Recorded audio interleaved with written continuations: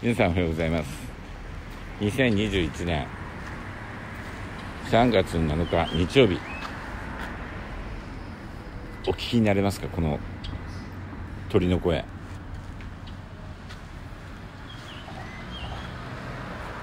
聞こえます？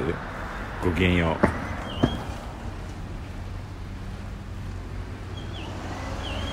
聞こえます？車の音で聞こえないかな聞こえますか？ね。すごく綺麗な声ですね。下に行くと逃げるかな？呼び合ってるんですよね。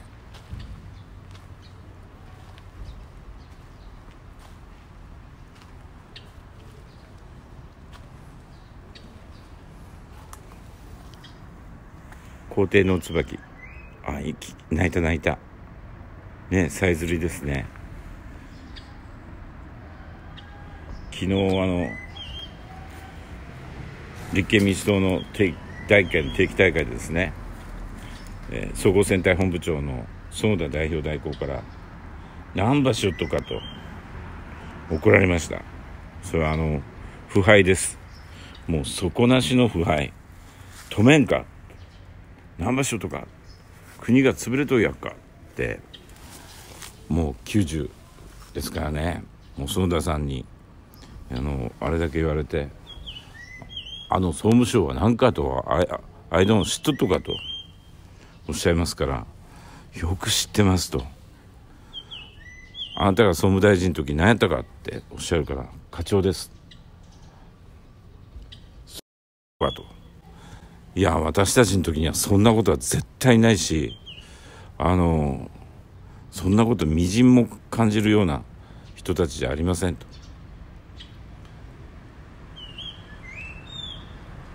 何場所とかなぜあがんなったとかなしかいうことをですね私も分からん。なんであのエースたちがあんなことをするのか。その総理大臣のもう総務大臣してますからそのまあ近所統治の権力が及んだのかという話ですね。これもう情に流されてる場合じゃありません。徹底的に海を流さないとこれ放送もいろいろありましたよね。あのフジテレビがの系列の子会社売ってあの世論調査のあの改ざんというかあれ BPO から指摘されてますよね。今回の東北新社に至っては外資規制までなんですよね。その20%の外資規制がなんであんな形になってるのか。完璧な放送法違反ですよね。放送って言えば本当にこの間いろんな放送に対する圧力もありました。で電波は私が大臣になる前は本当になんていうかな高速道路の中にリアカーの道があるようなそんな感じだったんですよ。で再編して開けてでその開けたところで起きてるんですね。何のため再編したかわからんやっか。と思います。でただあのそれ調査をすると言ってますんでまあ農水省の調査の半端具合に比べればまだ総務省のはいいんですけどそんなのあの低いところでを比べてもしょうがありませんからね。これも椿ですね。でっかい。この花の大きさお分かりになりますか？これ。これ。こんな感じですもんね。いやびっくりしますね。まあ昨日はね佐賀市内あの県内でも卒業式がいっぱいありました。卒業おめでとう。ね。友達と別れるの辛いけど新しいところでみんな頑張ってくださいね。あの心から祝福をしたいと思います。あの高久小学校もずっと呼ばれてきたんですけどごめんなさいね。えー、出ることができずに、まあ、今年はねあのコロナで、え呼ばれるところももうほとんどなくなってきたわけですけどもまたこれが収まればあぜひ、えー、出させてもらいたいなというふうに思います。また昨日はあの積水ハウスさんがですね一級子供たちを育てることを徹底的にあの頑張っておられて、えー、イクメン白書っていうのを、まあ、私イクメンって言葉あんまり好きじゃないけどもあの出されていてなんと佐賀県がナンバーワンなんですね。で男性があの家事に携わる割合、えー、子育てに携わる割合あの北部九州、えー、というか九州2位が熊本だったですかね。3位が福岡。まあ九州が one two three だったわけです。まあそれはあのいろんな理由が前も少しお話をしましたけど九州男児って言われてますが、まあ、完璧にあの女性が中心のあの地域のあの絆を作ってるんですね。だからあの私の祖母のようにあの全体の一族の長は、えー、祖母のようなああいうあの女性があの実質的に取り仕切ってるところも少なくないですね。まあ、ああいうそその封建的なあの家父長制度のその女性版みたいなものも残って、えー、いたと私はあの思います非常にあのインドネシアとか、えっと、南の方のあの国に地域に多いですね。女性が全てのこの中心を占めていると。そういうのもあの理由にあるんだろうと思いますけどもあの子育てに喜びを感じる、えー、家事に喜びを感じる。あそうですね。カカア天下っていうところもあります。ちょっとそれとはねあの天下を取ってるあれ群馬でしたかね。カカア天下っていうのはそのちょっとそのニュアンスが違うんですよね。何ていうかな。表にそれはこう出ない。表はその九州男児とか言ってですねこうさもこう男が中心のように言われてるんですけどその内実は全部その、まあ、孫悟空のあのお釈迦様の手のひらのようにその女性のその手のひらの上にこう多くのものが乗ってるって非常に安定した構造なんじゃないかなって思います。それはなぜかというとさまざまな生物学的な違いの中であの社会がこうその違いをうまくあの吸収してそれぞれの良さを頑張ってるね。すごい。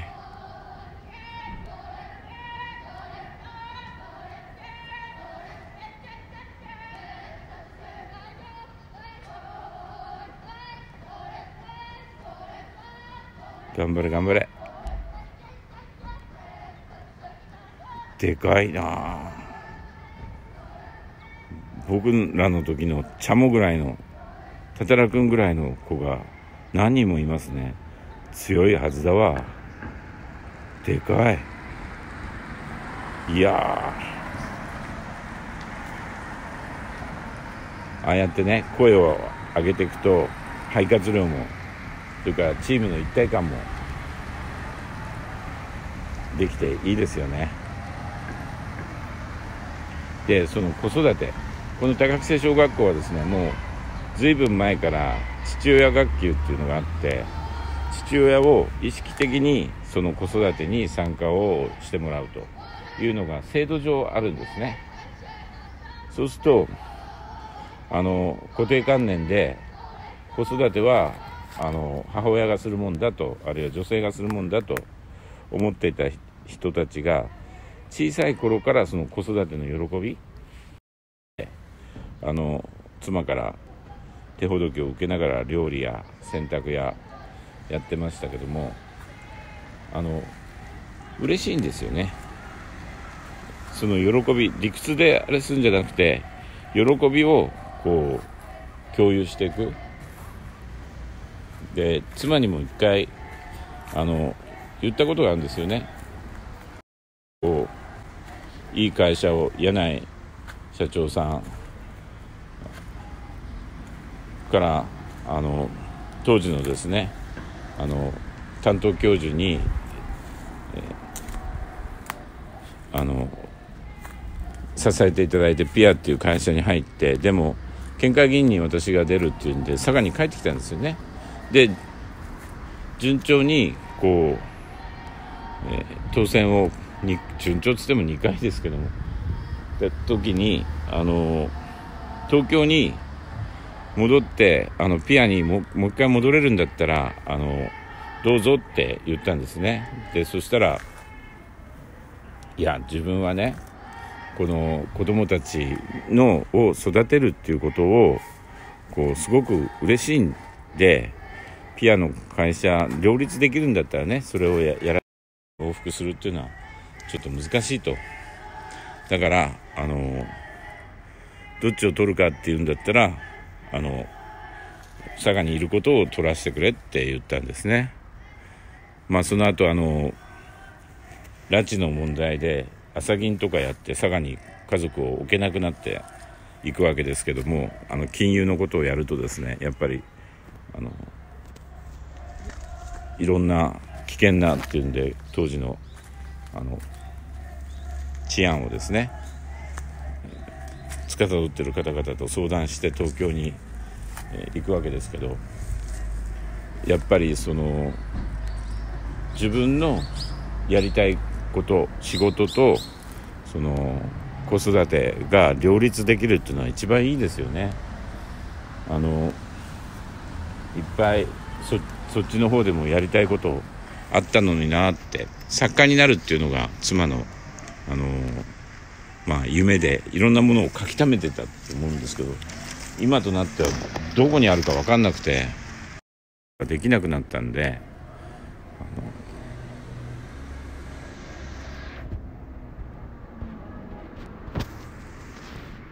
シングルマザーですか？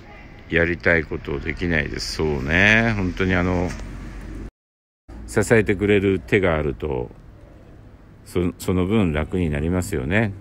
夜あの赤ちゃん何回も何回も起きますしあの授乳やしかもそのね病気もしますからあのやっぱり複数で、えー、子育てができるっていう環境。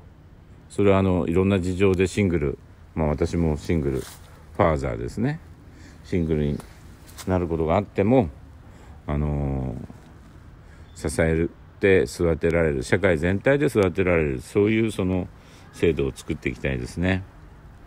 さてもうこれであの終えます。今日はですね Zoom で原口和弘の13回目です。あの昨日適当大会があったんで毎週週末2回ずつやってるんですけど、え今日は1箇所。加瀬の方ですね。で先週いただいた宿題も今皆さんにお返しをしています。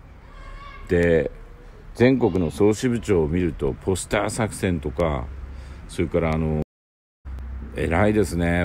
私のところはそれ自分でもやるっていうのがほとんどないんでちょっとなんか面白そうなんで私もやらせてもらいたいあのスタッフに言ってるんですけどあのそういうそれもいいけどあの無理してるっていうところをですねあの間違えないようにするようにってスタッフから「おおダッシュしてる。ちょっと顔が映り込まないように。頑張れ頑張れ。早いな。早い。うわすごいですね。うん。じゃあ皆さん今日もですね良い一日を。何場所か。何場所か。やっぱり園田大光から怒られるともうバシッビシッってなりますよね。あ頑張らないかあの来週はですねイージスシステムのやつこれ聞けば聞くほどひどいですね。これをやってそれから今日は赤木さんのねあの命日っていうかね。無念だった。だからあの末松君からですね資料が届きました。末松義則さんから代議士から、えー、来週です。っていうかもう今週ねあの森友問題のヒアリングもやりたいと思ってます。ね。椿綺麗ですね。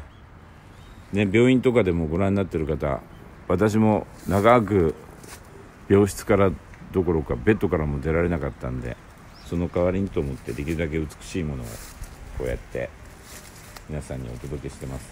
元気なものね。美しいもの。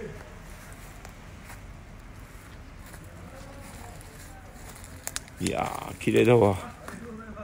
これものすごく大きいんですよこのバラ。バラじゃねえや。椿。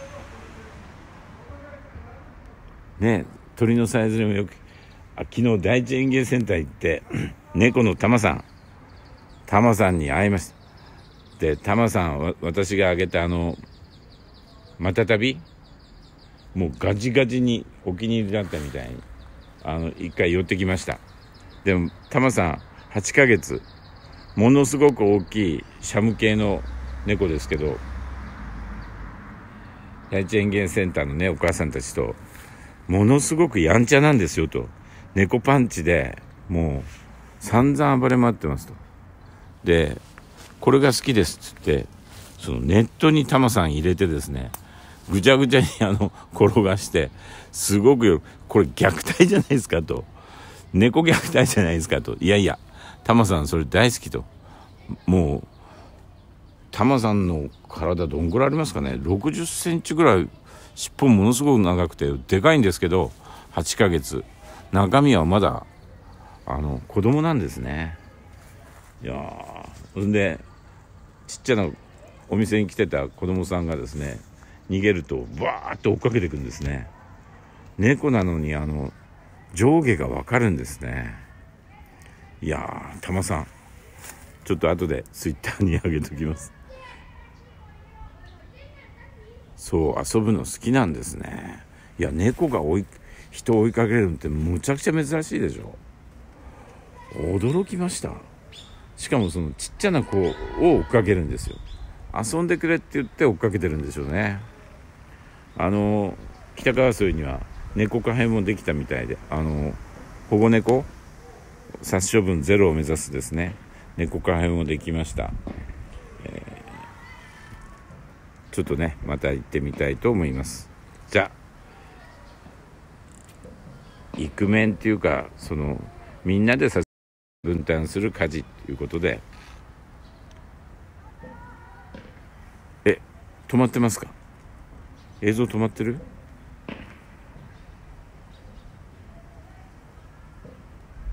動動いてます？あ大丈夫ですか？